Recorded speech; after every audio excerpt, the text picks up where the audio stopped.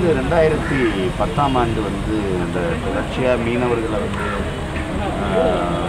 இலங்கை கடற்படை கொண்டு அப்போ அந்த ஒரு ஆர்ப்பாட்டம் வச்சுருக்கோம் சென்னை மாவட்ட ஆட்சியர் அலுவலகத்துக்கு இப்போ அப்போ அதில் வந்து நான் வந்து நீ மீனவனை நீங்கள் அடிச்சிடும் உன் மாணவனை நான் அடிப்பேன் அப்படின்னு பேசுனதுக்கு என்னை வந்து சிறைப்படுத்தினாங்க. இப்போ ஐயா கலைஞர் அவர்கள் ஆட்சி என்னை ஆறு மாதம் அதில் தேசிய பாதுகாப்பு ஒரு ஐயா எழுப்பி தர்மராவ் நீதியரசர் அவரும் ஐயா ஹரிபரந்தாமனும் இந்த சட்டம் அவர் மேலே போட்டது செல்லாதுன்னு என்னை விடுதலை பண்ணிட்டாங்க. ரெண்டாயிரத்தி இருபதில் ஐயா இவர் முதல்வர் எடப்பாடி பழனிசாமி ஆட்சியில் என்ன பண்ணுறாங்கன்னா பத்து வருடம் கழிச்சு அந்த கூட்டத்தில் பத்து நிமிடம் நீங்கள் கூட பேசிட்டீங்கன்னு ஒரு வழக்கை போட்டு காலையில் அதிகாலையில் வந்து எழுப்பி அழைப்பானை நான் கேட்டேன் பத்து நிமிஷம் நான் கூட பேசினேங்கிறது பத்து வருஷத்துக்கு அப்புறம் தான் உங்களுக்கு தெரிய வருவாங்க அதான் இந்த வழக்கில் கைதாகி சிறைப்பட்டு ஆறு மாதம் சிறை தண்டனையே அனுபவிச்சிட்டேன். அதுக்கு பிறகு ஒரு பத்து நிமிஷம் கூடுதலாக நான் பேசிட்டேன்ட்டு வழக்கு போட்டு இப்போ அந்த வழக்கு பத்து நிமிஷம் கூட பேசிட்டேன் அப்படிங்கிறதா அது குற்றச்சாட்டு அதுக்கு ஒரு வழக்கு அதுக்கு வே- வேண்டியது வந்தேன். சார் இப்படியான வழக்குகள் தொடர்ச்சி பேசுறது போதுமான இப்போ நீங்கள் வைக்கும் ஈழத்தமிழர்களுக்கு ஆதரவாக பேசுகிறாங்க அதுவும் ஈழத்தமிழர்களுக்கு மட்டும் நாங்கள் பேசுறது இல்லை இப்போ சான் லூர்துசாமி ஆனந்த தெல்துப்பிள்ளை போல சமூக செயல்பாட்டாளர்கள் மக்கள் உரிமைக்கு மானுட உரிமைக்கு போராடுகிற செயல்பாட்டாளர்கள் பதினஞ்சு பேர் என்ஐஏல கைது பண்ணி நீங்கள் பார்க்குறீங்க இப்போ நானாவது தேசிய பாதுகாப்பு சட்டத்தில் போடு என்எஸ்சியில் போடும்போது நான் இந்த சிறையில் இருக்கிறேன்னு தெரியும் என் குடும்பத்தாருக்கு தெரியும் என் உறவினர்களுக்கு தெரிய வரும் ஒரு தகவல் வெளியில் வரும். ஆனால் இப்போ எங்கே சான் லூர்து சாமி எங்கே இருக்காரு ஆனந்த வெட்டுண்டே எங்கே இருக்கிறாரு அந்த அவங்கெல்லாம் எங்கே இருக்கிறாங்க என்ன நிலையில் இருக்கிறாங்க இப்போ எவ்வளவு கொடுமையான ஒரு அடக்குமுறை ஒடுக்குமுறை செய்து வரணும் என்ன நீங்கள் பதினோராயிரத்தி எண்ணூறு கோடி அடிச்சுட்டு ஓடி போனவன் தான் ஒன்பதனாயிரம் கோடியை கொண்டு போய் ஓடி போனவன்லாம் இருக்கிறான். மக்களுக்காக இந்த மண்ணில் இருந்து போராடுறவன அந்த உரிமைக்கு பேசுகிறவனை குறவழியை நெரிச்சு நெரிச்சு போட்டால் வாயை திறக்காத உன்னை கொன்றுவேங்கிறது அச்சு. எப்படி இருக்கு பாருங்க எப்படி இருக்கு பாருங்க. ஒரு இது ஒரு கொடுமை தான். அதுதான் இதை வந்து சர்வாதிகாரம்னு சொல்லக்கூடாது இந்த ஆட்சியை. கொடுங்கோன்மை ஆட்சி. சர்வாதிகாரம் வேற கொடுங்கோன்மை வேறு. ஒரு நேர்மையாளன் சர்வாதிகாரியாத்தான் இருக்க முடியுங்கிறார் ஐயா இறைவன். பெருந்தலைவர் காமராஜரோ அல்லது நேருவோ அப்போ ஐயா சகாயம் கூட ஒரு சர்வாதிகாரி தான். நேர்மையாக இருக்கணும் அப்படின்னா அது மற்றவங்க பார்வைக்கு சர்வாதிகாரமாக தான் தெரியும். அது வேற. ஆனால் இது வந்து கொடுங்கோன்மை சர்வாதிகாரம். சார்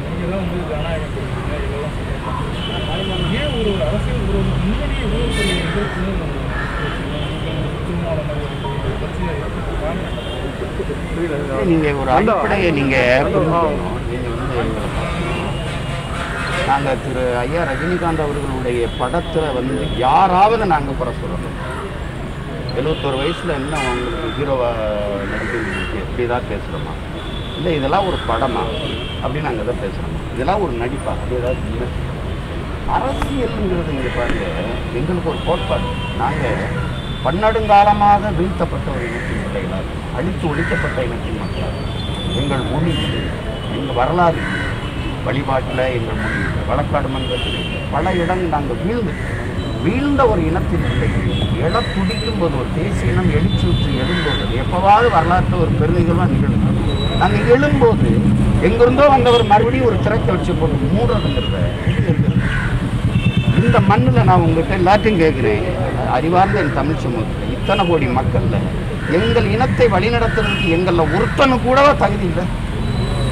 அதுக்கு மகாராஷ்டிரத்துக்கு ஒருத்தர் வருமா? நடிங்க இன்னும் பத்து வருஷம் கூட நடிங்க நாங்கள் ஏதாவது பேசினோம்னா செருப்பு கட்டிடுங்க இது ஒரு தமிழ் தேசிய இனத்திற்கு பாருங்க மானம் வீரம் அறம் இது மூன்றும் உயிரென்று வாழ்ந்த ஒரு இனத்தின் பிள்ளைகள் வந்து இது ஒரு தன்மான இழப்பா நாங்கள் பார்க்குறோம். பெருத்த அவமானமாக பார்க்குறோம்.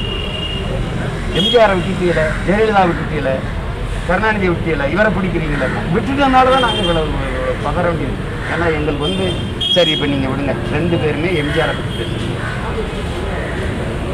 நான் என்ன சொல்ல விரும்புகிறேங்க கமல் அவர்களும் எம்ஜிஆரை பற்றி பேசுகிறாங்க எம்ஜிஆர் ரஜினி அவர்களும் எம்ஜிஆர் தேர்தல் நேரங்களில் சில நடிகர் நடிகைகள் வந்து கட்சியில் சேர்ந்து வாக்கு சேர்ப்பாங்க அப்படி நீங்கள் ரெண்டு பேரும் வந்து அதிமுகவுக்கு மிகச்சிறந்த இது, வாக்கு சேகரிக்கிற ஆளுகளாக வந்து நீங்கள் நீங்கள் எம்ஜிஆரை பேசும்போது அது ரெட்டலைக்கு தான் போகும்.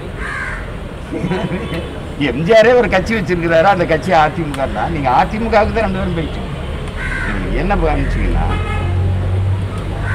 இந்த இவங்க ரெண்டு பேருமே எம்ஜிஆரை பேசுகிறவங்க எம்ஜிஆர் எங்கள் அண்ணனை வந்து உயிராக நேற்றார் தன் மகன் போல நேற்றார் பிரபாகர் எங்கள் தலைவனை வந்து பேரன்பு கொண்டு நேர்ச்சு அவருக்கு இருகரமும் நீக்கி உணர்ந்தார் ஈழத்தை அடையணுங்கிறது பெருங்கனவாக வச்சுருந்தார். நீ எம்ஜிஆரை பற்றி பேசுகிறேன் நீங்கள் எம்ஜிஆர் ஆட்சி இப்போ ஈழத்தை பற்றி உங்கள் நிலைப்பாடு எம்ஜிஆர் கொண்ட அந்த நிலைப்பாட்டுக்கு வரீங்களா இல்லை வரமாட்டீங்க அது கேட்க தோணுது இல்லை சும்மா எதையாவது பேசிக்கிட்டு வந்து ஒரு கே- இது வந்து எந்த மாநிலத்தில் இந்த விபத்து நடக்குது? நீங்கள் எல்லாம் சொல்லுங்கள் ஜி ராமாராவ் வந்தது ஒரு விபத்து.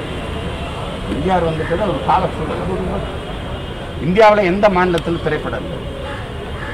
ஏன் ஷாருக் கான் சல்மான்க்குலாம் இந்த எண்ணம் வருது? எங்கே யார் வந்தாலும் திரைப்படத்தில் நடிச்சிட்டா போதும். நேராக வந்து அப்படி முதலமைச்சராகி உட்கார்ந்து எங்களை அதிகாரம் செலுத்தணுங்கிறது. எவ்வளவு ஒரு கேவலப்படுத்துகிற ஒரு வேலை. உலகத்துக்கு அறிவை கடன் கொடுத்த இனத்தின் மக்கள் நாங்கள். எங்கள் அப்பா நம்மாழ்வார் சொல்கிறார் உலகத்துக்கு அறிவையே கடன் கொடுத்த கூட்டம்டா நம்ம. அந்த கூட்டத்தை வந்து இதில் இந்த வழி நடத்தி நான் ஒன்று கேட்குறேன் என் இன வரலாறு தெரியாத நீங்கள் எப்படி என்னை வழி நடத்தி கூட்டிகிட்டு போக முடியும்? எங்கே பல்ல இருக்குது எங்கே மேடு இருக்குன்னு தெரியாத நீங்கள் என் இனத்தை எப்படி வழி நடத்தி கூட்டிகிட்டு போக முடியும்? சொல்லுங்க நீங்க சொல்லுங்க வாவுசி யாரு? காமராஜ் யாரு கக்கன் யாரு சிவானந்த யாரு சிங்காரவேலர் யாரு முத்துராமலிங்கத்தேவர் யாரு அயோத்திதாசர் யாரு நெட்டமலை சீனிவாசன் யாரு பண்டாரவன்னிய யாரு பூலித்தேவன் யாரு மருதுபாண்டியர் யாரு வேலுநாச்சியார் யாரு அலமுத்துக்குன் யாரு சுந்தரலிங்க யாரு தீரன் சின்னமலை யாரு யாருன்னு ஒரு ரெண்டு நிமிடம் ரெண்டு நிமிடம் பேசுங்க. ரொம்ப நேரம் வேணாம். மணிக்கணக்காக வேணாம். பேசுங்க. ஒரு இளவும் தெரியாத இங்கே வந்துக்கிட்டு நான் வந்து நாட்டை ஆண்டுனோம்னா இதெல்லாம் எவ்வளவு ஒரு எங்களை எவ்வளவு கேவலமாக நினை நீங்கள் மதிப்பிடுறீங்க. அப்புறம் கோவம் வரக்கூடாதுன்றீங்க எனக்கு தலைவன் பிரபாகரன். உங்களுக்கு யார்? பிரபாகரன் யாராவது மதிப்பீடு சொல்லுங்க. மதிப்பீடு சொல்லுங்க ரெண்டு பேரும். என் தாய்மொழி தமிழ். உங்கள் தாய்மொழி எது சொல்லு சேட்டை தானே இதெல்லாம். அப்புறம் நாங்க என்ன அவ்வளவு மானங்கட்ட கூட்டமா நாங்க அதுக்கு தான் நாங்க இதை வேணாங்கிறோம். வேணாம் விடுங்க நாங்க பார்த்துக்கிறோன்றோம் தமிழர் தானே ஆட்சி செய்றாரு. எடப்பாடி. சரி நல்லா இல்லையா? ஆட்சி நல்லா இல்லையா? அப்படிங்க நாங்கள் வந்து நல்லா கொடுத்துட்டு போகிறோம் இது அப்போ மயங்க பிரச்சனை. எங்கள் அப்பா புள்ளமாக இருக்காரு அம்மா தழும்பு இருக்குது குடிக்கிறாரு அவருக்கு ஆங்கிலம் தெரியாது. சரி ஆனால் அவன் தானே அப்போ. எடுத்து வீட்டுக்காரன் நல்லா வெள்ளையாக இருக்கான் உயரமாக இருக்கான் இங்கிலீஷ் பேசுவான் அவன் அப்பன்னு ஆக்கிட முடியுமா? சொல்லுங்க. இது என் நாடு என் நிலம் என் உரிமை. நீங்கள் தானே இந்த கபாலி படத்தில் பேசுவீங்க என் உரிமைன்னு மண் உரிமைன்னு. சாலா சாலா அதுதான். அதை தான் நானும் பேசுவேன் உங்கள் வசனத்தை நான் பேசுவேன் ஊழல் ஊழல் இருக்குது அது வருது. அது இந்த நா முதல்ல இந்தியாவே ஊழலில் பெருத்த நாடு. உலகத்திலே நைஜீரியா இந்தியா போன்ற நாடுகள் வந்து ஊழலில் பெருத்த நாடு. ரெண்டு நாடுன்னா இந்த இவிஎம் எந்திரத்தை வச்சுக்கிட்டு விளையாடு மற்ற நாடுகள் எல்லாம் கைவிட்டு அது என்ன? இப்ப பாரதிய ஜனதா ஆளுகிற மாநிலங்கள்ல ஊழல் இல்லையா? அவங்க வாக்கு வாக்கு கொடுக்குறது இல்லையா? சரியாயிடுச்சா? கல்வி மருத்துவம்லாம் தரமாயிடுச்சா? என்னவோ ஒன்று ஒரு ஒரு கொடுமை நடக்குது. அதை நம்மளும் சைட்டுக்கிட்டு சார் இந்த கமலஹாசன் வந்து எந்த ஒரு கூட்டத்துக்கு வீட்டுக்கு வராமல் தேர்தலுக்காக மட்டுமே வீட்டுக்கு வர அதுதான் அதுதான் நாங்கள் சொல்கிறோம் அதுதான் வந்து இந்த மக்களை வந்து இழிவாக மதிப்பிடுவதுன்னு சொல்கிறோம் அரசியல் செய்யாமல் நேரடியாக தேர்தலை எதிர்கொள்வது அப்படிங்கிறது மக்களை வந்து மிக குறைவாக தாழ்வாக கேவலமாக மதிப்பிடுவதை நான் பார்க்குறேன். நான் பார்க்குறேன். ஒரு ஒரு ஒரு மான தமிழ் மகனாக நான் என்ன ஒரு தன்மான இழப்பாக பார்க்குறேன். அதனால தான் எனக்கு கோபம் இருக்கு நீங்கள் என்னவா எங்களை கருதுறீங்க? இது ஒரு இது ஒரு கேடுகட்ட கூட்டம் அது. இப்போ ஒரு அறிவிழந்த கூட்டம் அப்படின்னு நீங்கள் மதிப்பிடுறீங்க அது அது அது வந்து ஒரு எந்த தன்மானமிக்க தமிழனாலையும் தாங்கிக்க முடியும் அது அதுதான் நான் சொல்றது.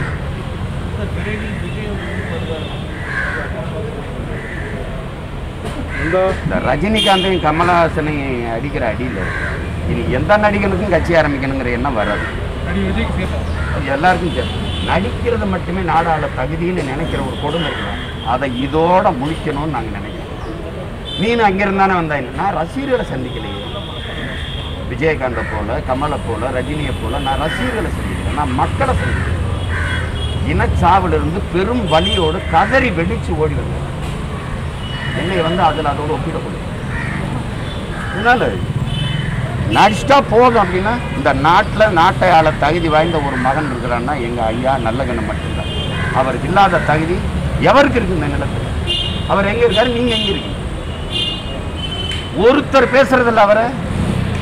நாட்டின் விடுதலை போராட்டத்தில் சுருட்டால மீசையை சுட்டு ஒவ்வொரு முடியா புடுங்கின போதும் போராட்டத்திலிருந்து விலகாத அந்த மகானுங்க எதுவுமே இல்லாமல் வந்து நேரடியாக நாங்கள் முதலமைச்சர் ஆயிடுவோம். அதிகாரத்தை செலுத்திடுவோம் தமிழ் மக்கள் மேலே எங்கள் தலைவர் எங்களுக்கு கற்பிக்கிறாரு அதிகாரம் அரசியல் என்பது மக்களின் மீது அதிகாரத்தை செலுத்துகிற விவகாரம் அல்ல. அது மக்களுக்கு ஆற்றப்படுகிற புனிதமான தொண்டு தொண்டு என்று சொல்றாங்க. அப்படி தொண்டு செய்கிறாங்களா அவங்க செஞ்சிருக்காங்களா?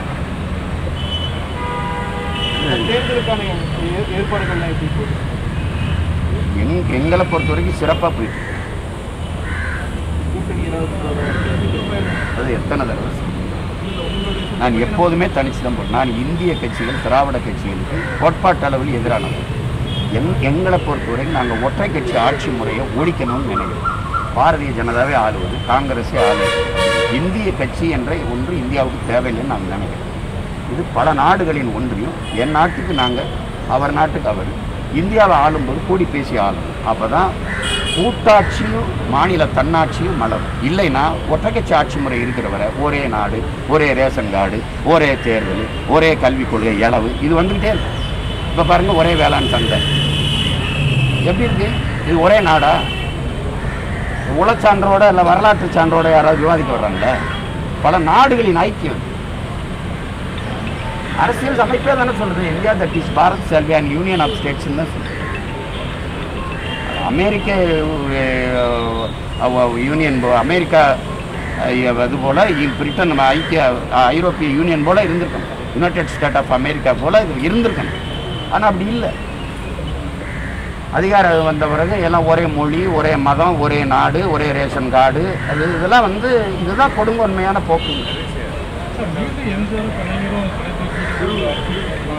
நாங்கள் இவர் மாதிரி இருக்கோம் இந்த நிலத்துக்கு இந்த நிலத்துக்குங்க இங்க பாருங்க. எம்ஜிஆரை பொறுத்தவரைங்க எங்க அண்ணன் எங்க தலைவருக்கு ஈழ விடுதலை போராட்டத்துல நூறு விழுக்காடு உண்மையா இருக்கு. அதுல நாங்க அவர் மேல அளவு பெரிய மதிப்பு. மற்றபடி அவர் என்ன சிறந்த ஆட்சி கொடுத்தாருன்னு இந்த நாட்டில் தமிழ் வழி கல்வியை ஆங்கில வழி கல்வியா மாற்றினது அவர் தான் கல்வி மருத்துவத்தை தனியாருக்கு தாரவாத்து கொடுத்த பெருந்தகையும் அவர்தான். முல்லை பெரியாற்று நதிநீர் உரிமை தமிழர்களுக்கு இருந்ததை அது அப்பா அணையை பாதுகாக்கிற உரிமையை கையெழுத்திட்டு கேரளாவுக்கு கொடுத்ததும் அவர்தான். இப்போ இப்படி பேசிட்டே போகலாம் அப்புறம் அதை திருப்பி திருப்பி அவரை பேசி இந்த நாட்டுக்கு தேவை காமராஜர் கட்டணம் தானே கிடையாது சிவானந்தம் சிங்காரவிளரும் தானே ஒழிய இங்க எம்ஜிஆர் கருணாநிதி அல்ல. அதை விட்டுருங்க.